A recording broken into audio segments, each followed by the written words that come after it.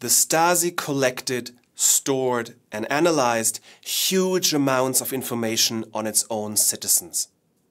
And while these 111 kilometers of files here in the Stasi archives are testament to the effectiveness of the Stasi's surveillance apparatus, they pale in comparison to the amount of data collected by the NSA today. But can we even compare the Stasi with the NSA today? It is a question I pose to both Dagmar Hovestedt and Glenn Greenwald. One interesting thing about the about the potential comparison between the NSA and the Stasi is that if you make it, people will say, "Oh, Oh, the only reason you can make that comparison is because you don't know what it's like to live in a real tyranny like the Stasi." And if you knew what it was like to really live in East Germany, you wouldn't actually be making the comparison. And yet, one of the first people to make the comparison between the NSA and the Stasi after the Snowden revelations began was the German Chancellor Angela Merkel, who grew up in East Germany under the rule of the Stasi.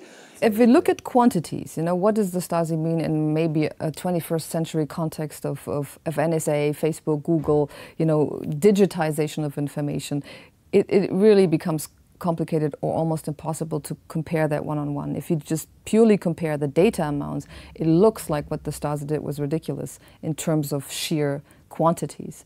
But in the end, the power of information doesn't so much lie in the quantity as it also lies in, in the quality and what you can what you are allowed to do with it and the controls that are imposed on it. The power of the Stasi originated and was based in this constant sense that there was an unknown, unseen authority that could monitor you at any time. And that's what made it so oppressive, was that the prison in which you were living, even if you weren't behind bars, was nonetheless very potent because it was placed into your mind.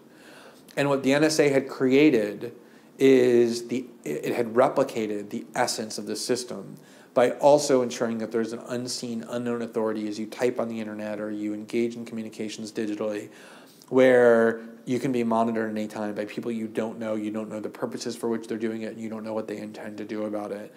And there are some differences. Um, Stasi officials, former officials of the Stasi, have pointed out differences, such as the fact that they said we could not even have dreamed of technology this comprehensive. I think something like 20% of East German citizens had become informants at some point with the Stasi.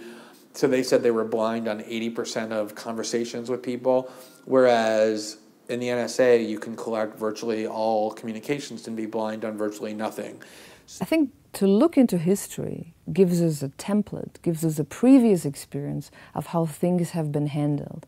And the mechanisms of secrecy, if you, if you want to put it a little bit more abstract, can be studied through our archive with the ways the Ministry of, Stasi, uh, Ministry of State Security gathered information. So obviously there are parallels, there are mechanisms that keep repeating. So there's something inherent in, in, a secret organization, and hence there is the comparison or the thought of the Stasi when you look at today's super surveillance with digital means.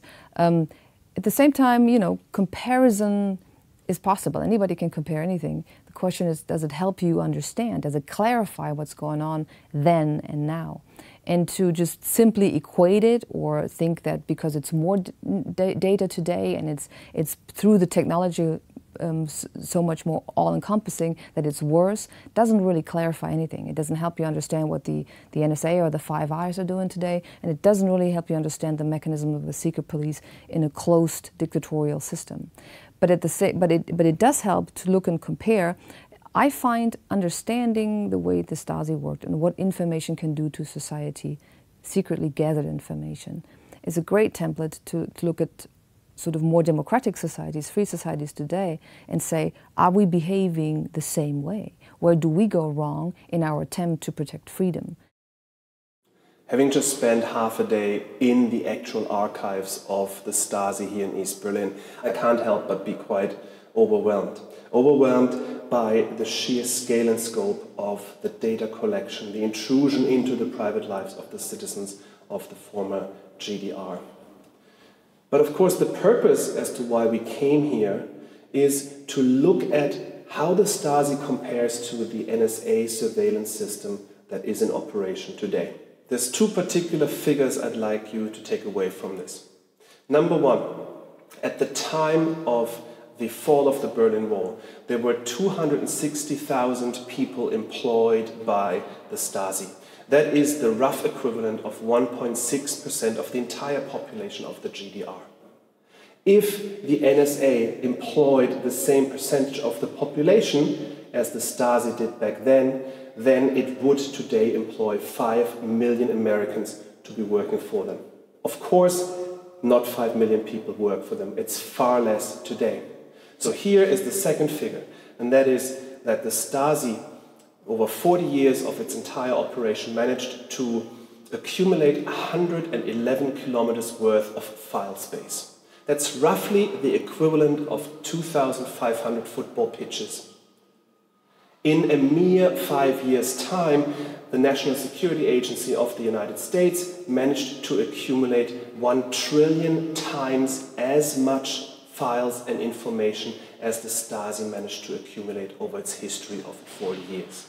And I think the message to take away from this is how technology and shifts in technology from an analog to a digital age have severely impacted on the nature of surveillance today.